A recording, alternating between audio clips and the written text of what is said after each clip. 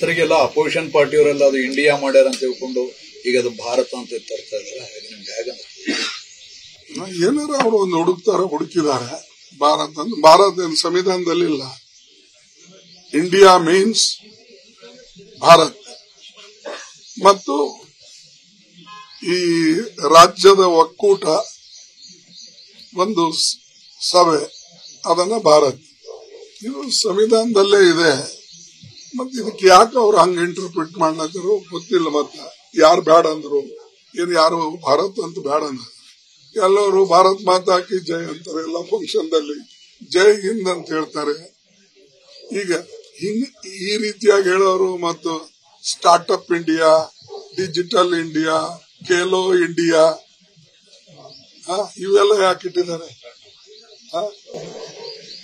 ಇಟ್ಟಿದ್ದಾರೆ ಆ? ಭಾರತ್ ಯಾತ್ರೆ ಮಾಡಿದ್ರು ಈಗ ಭಾರತ ಅನ್ನೋ ಪದಕ್ಕೆ ಬೆಂಬಲ ಕೊಡ್ತಾರೆ ಕಾಂಗ್ರೆಸ್ ಅರೆ ಬಾ ನಾವು ತಗೊಳ್ತಾನೆ ಬೆಂಬಲ ನೀವ್ ಯಾರು ಕೇಳೋರು? ನಾವು ಭಾರತ್ ಜೋಡೋನೆ ನಾವು ನಾಲ್ಕು ಸಾವಿರದ ಐನೂರು ಕಿಲೋಮೀಟರ್ ಪಾದಯಾತ್ರೆ ಮಾಡಿದ್ದೇವೆ. ಯಾಕೆ ಇದನ್ನ ಇವು ಇಂಥ ವಿಷಯಗಳನ್ನ ತಂದು ನೀವು ಸಮಾಜವನ್ನು ಒಡಿಸೋದು ಸಮಾಜದಲ್ಲಿ ಭ್ರಮೆ ಸೃಷ್ಟಿ ಮಾಡೋದು ಇದು ಮಾಡಬಾರ್ದು.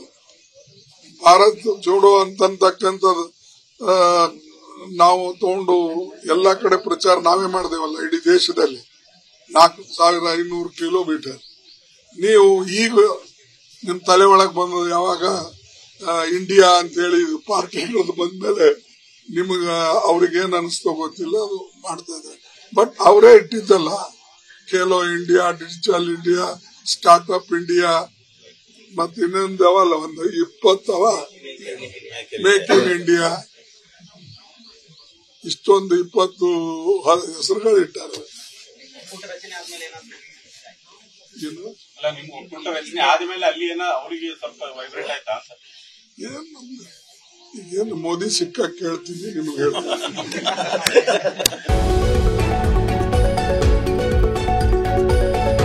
ಪ್ರತಿ ಕ್ಷಣದ ಸುದ್ದಿಗಳಿಗಾಗಿ ವಿಸ್ತಾರ ನ್ಯೂಸ್ ಆಪ್ ಡೌನ್ಲೋಡ್ ಮಾಡಿ.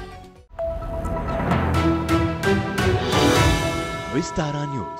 ನಿಖರ ಜನಪರ